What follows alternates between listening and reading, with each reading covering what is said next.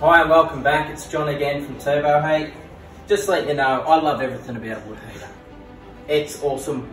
The heat that comes off it, it's awesome. We all love it. Now the thing is, what would you do if I could say I could put that heat all throughout your house? That's what Turboheat is.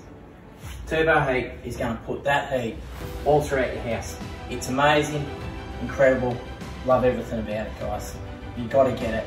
If you have one wood heater in your house, we all know it's only going to heat that room.